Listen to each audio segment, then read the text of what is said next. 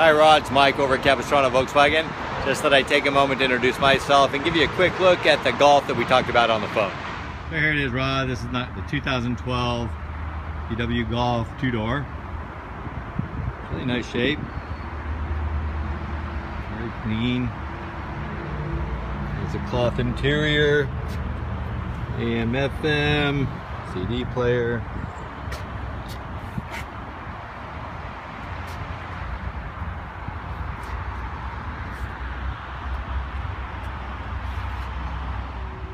That's a quick look at the 2012 Golf. Give me a call or text me when you know your availability and we'll schedule a time for you to come down and test drive the car. And in the meantime, you have a great evening and we'll talk to you soon.